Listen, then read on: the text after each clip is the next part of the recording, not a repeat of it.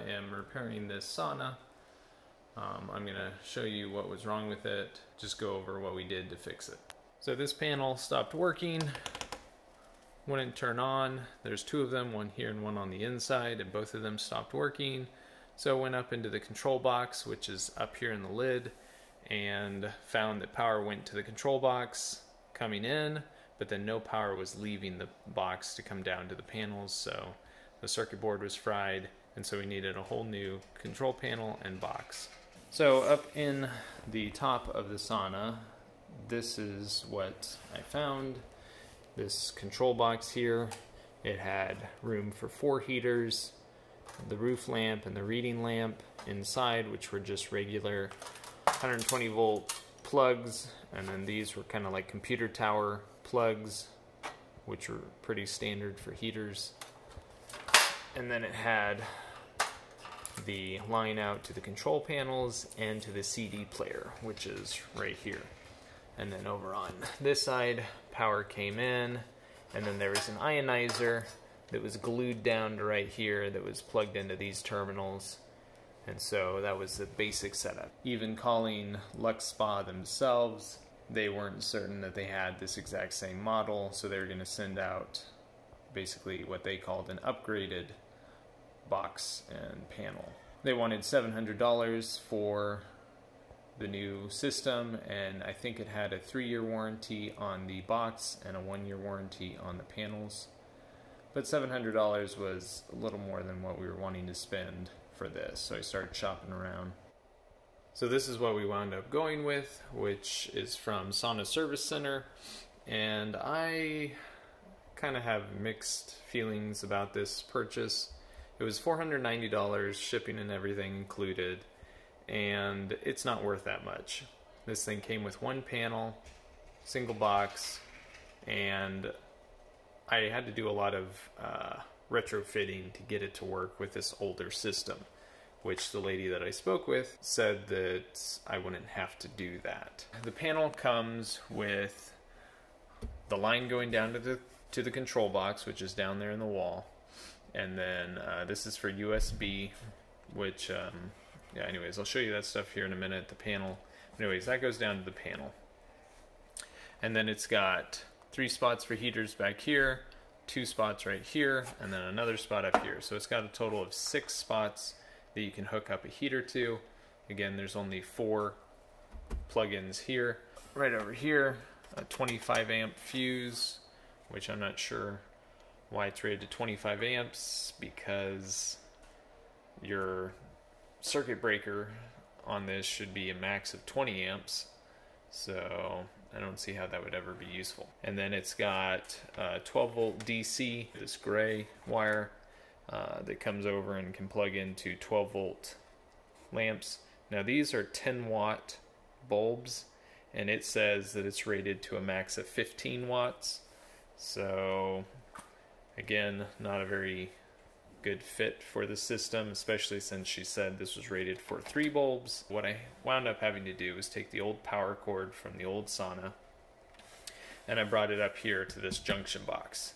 Inside the junction box, I took power over to a single gang box and then I wired in this ionizer, just hot and neutral, wired into here, and then there's, you know, power going over here to a switch that's now installed in the ceiling, just a single pull over here to the light. And so you turn the light on by flipping the switch up in the ceiling. Now there's just two cords going down instead of one. I didn't want to cut into their power cord. Um, figured I'd just keep it a completely separate system. Speakers, you've got positive for the red, negative for the black. Cables they sent look like this for the connections. So I just cut that off and you can see the markings on the side. You've got positive, negative, positive, negative. And so I just hooked up positive and negative to one speaker, the right side speaker, and positive and negative to the other side. Temp sensor was this little doodad right here, which is a very cheap temperature sensor sent with the unit. But since the old temperature sensor has the same exact plugins as this one, I just plugged the old one into the uh, the port for this new one right there. So that old one's just plugged in. And if for some reason it doesn't work, well, we'll just plug in this new one. But this one can hardly even penetrate down through the wood. Only about that much would be sticking through the top of this ceiling. So that other sensor just seems like it's better suited for this. 12 volt power. It's uh, like I said before, 12 volts and 15 watts max. Coming over here and it's just plugged into what used to be the transformer. Again, was coming from the old system, taking 120 volts and then through this changing it to 12 volts DC. And you can see here, this one was rated for 70 watts. This one can only handle 15 watts, so might have to replace those bulbs with some little LED bulbs. All right, so now let's go down and look inside. Here's the ionizer. Again, it is just wired directly to power.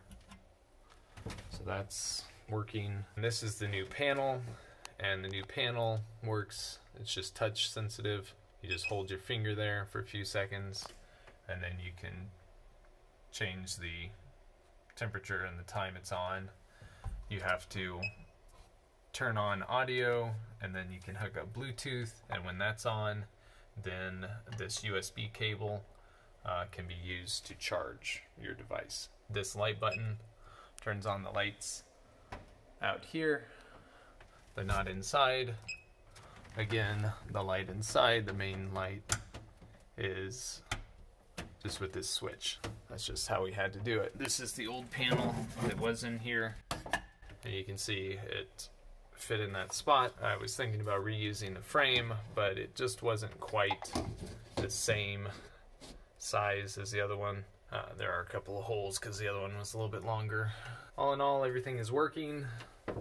Haven't had any problems. The CD player was mounted in this spot so you could pull that and this all would drop down. I had to remove that so that the power box could fit up there and also the CD player couldn't be plugged into this system. The CD player used to be right there. Besides having to do this extra nonsense, uh, everything else went pretty easily. For the price of $490 for this, I think it's kind of a ripoff. Now that I see how the system all works and is put together, I saw these types of boxes and panels on other websites for 120 bucks or so. As long as you buy the box with its own proprietary panel and it has enough, you know, spots for your heaters, really I don't see what all the extra cost is for except for maybe their warranty. Maybe you wouldn't have that same warranty if you bought it just from another website. Not a whole lot to the system, so I'm not too happy with the price I paid, nor with the service of the person that I was dealing with. Truly just lied to me and said, oh yeah, everything will hook up. I mean, I was very specific. I sent pictures. I said, I, this is exactly what I have. This is exactly what I want.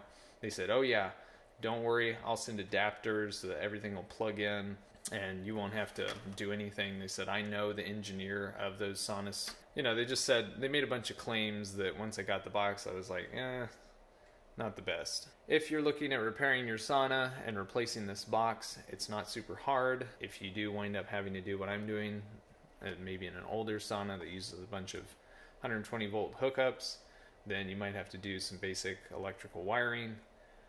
But otherwise, pretty straightforward. Well, hopefully this helps somebody who is looking at fixing their sauna and uh, might save you a little bit of headache and maybe a little bit of money as well.